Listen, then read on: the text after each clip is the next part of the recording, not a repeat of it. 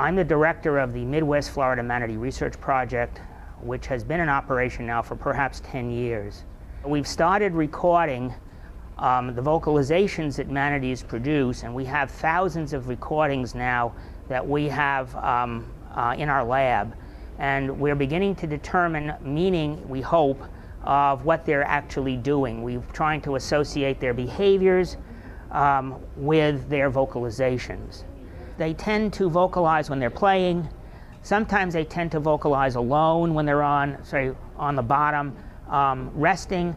When they're scratching, for example, against a log or a rope or something else, they may vocalize in pleasure. These animals were, um, are here in Cincinnati for, um, because they have had problems in the wild. And um, what, we, um, what, what Cincinnati Zoo does and the Columbus Zoo, the only two places in, um, in Ohio where we have manatees, is they um, take animals that have been hurt or um, perhaps orphaned, and they bring them up, and then they hopefully, the animals can be released later into the wild. We've studied um, quite a number of animals um, in the past, and uh, all of those animals have been released or um, are back in Florida now. One of the studies we are currently in, in, involved with is something we call uh, vocal, vocal identification. And what we'd like to do is define each animal separately from the other animals to define who is vocalizing. Illusion, this one over here, vocalizes constantly. She'll come up to the glass and she'll talk to you. And we have been able to record her vocalizations and one of the things we're capable of doing now is defining, uh, determining her vocalizations separate from the other animals in the tank. And what we're hoping is that if we can get a large enough repertoire of animal vocalizations, we can begin to define who's vocalizing.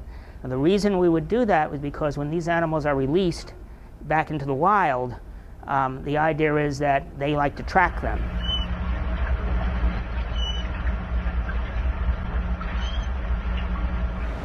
Here we are at the back of the manatee tank at the Cincinnati Zoo. When we are doing recordings of, of vocalizations, we have our equipment set up along this uh, ledge here, and then we drop a series of large hydrophones into the water.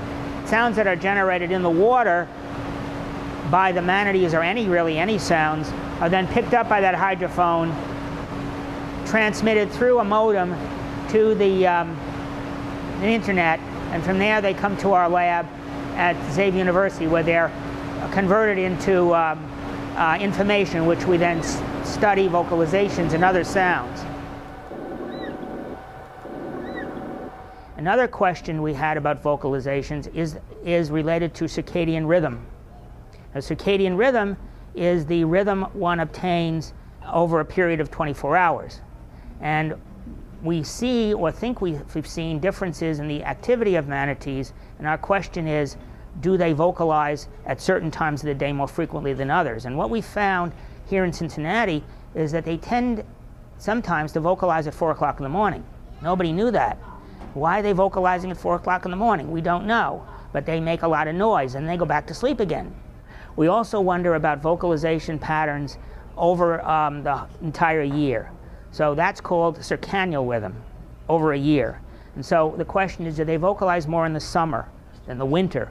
Or do they vocalize more uh, in certain water temperatures? None of this has been known. And we are trying to define all of this. This is early in the studies. But the question is, are there differences? And what are the patterns?